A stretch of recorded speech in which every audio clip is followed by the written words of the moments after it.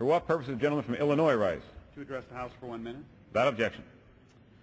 Mr. Speaker, last month I was humbled and honored to introduce a resolution honoring the goals and ideas of Gold Star Mother Day.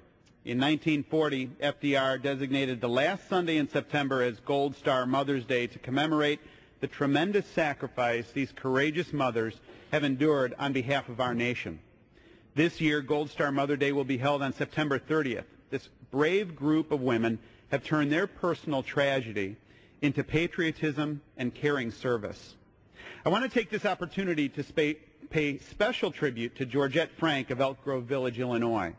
Her son Phil enlisted in the Marine Corps right out of high school in response to the September 11th attacks and paid the ultimate sacrifice for our freedom.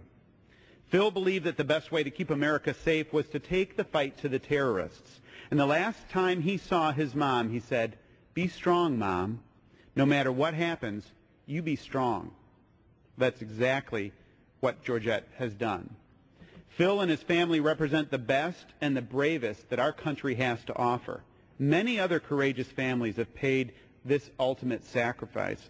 No one, none that we can ignore.